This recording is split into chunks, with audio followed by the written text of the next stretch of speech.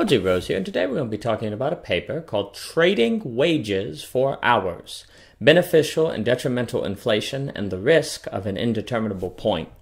Um, it, inflation's this funny word that means a lot of things to a lot of different people. Um, for some people, it seems to mean just a general increase of the money supply, and for other people, it can mean an increase of the money supply over assets, hurting the spending power. So it's a very controversial term and kind of confusing. Um, but for me, I think a nice way to think of inflation is as as a kind of trade off between wages and hours. And what I mean by that is imagine you worked for ten dollars an hour and you only worked one um, hour, and so the maximum amount of money you can make is ten. And somebody came along and they said, "Okay, I tell you what, I'll um, I'll give you two hours of work if you're willing to work for nine dollars instead of ten." And you go, "Well, of course, because I'm still making more money. I'm making eighteen total." And you say, "That's great. I'll do it."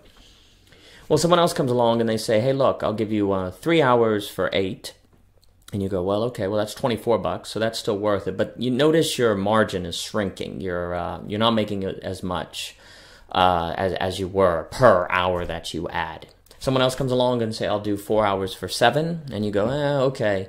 But notice here when you get to five hours, and they're going to give you six bucks. Well, the max you make there is 30. Don't get me wrong, up from the hour mark, you're making twenty dollars um, total more, even though you're making more less less per hour.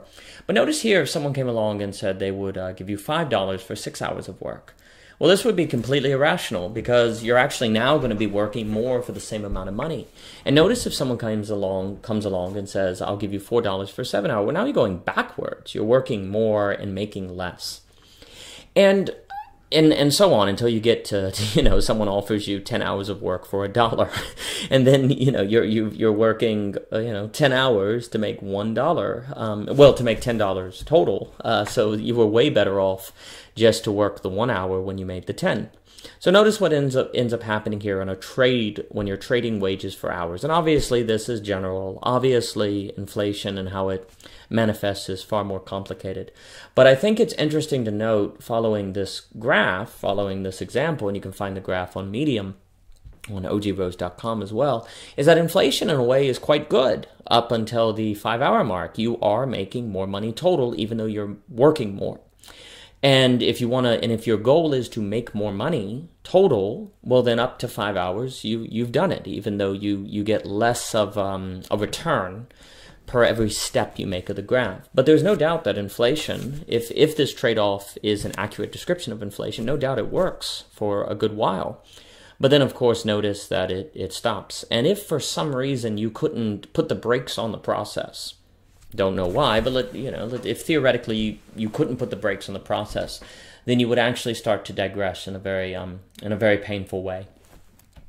And so, you know, I think we need to move beyond um, thinking of inflation as good or, you know, as um, purely bad or purely good and understand it's a trade off for wages, between wages and hours. And the reason it is, is because the government um, increases inflation or stimulates the economy by decreasing the spending power of the dollar through the um, process by which it makes money. So every time the government creates money, it reduces spending power, and that would be inflation. But so you're so you're in essence getting less bang for your money whenever the government um, stimulates the economy, and that and the reason it stimulates the economy though is precisely to create opportunities of employment, to create jobs, blah blah blah. So you know, in order to um to to to increase hours, and and practically speaking, if your money buys less, then you are trading wages for hours. You are trading spending power for hours. And like we said, up to a point, it, it works. It works well, and inflation can be beneficial.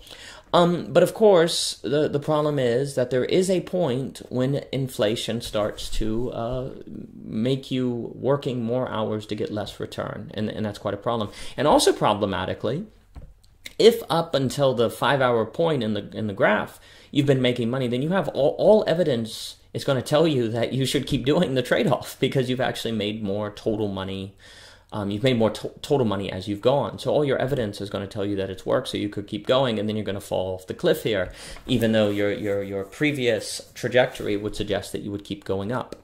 Um, and then, of course, you don't even get into the question that when people realize that you know they're working a whole extra four hours to only get a return of 20 bucks, to only get a 50% return from their initial starting point of one hour for $10, they might start to get angry and you could have social unrest. But assuming, uh, well, I mean, people can get upset, but at least if you have an overall increase in, uh, in money, you know, then, uh, you know, the amount of money you have, then people can maybe um, stomach it.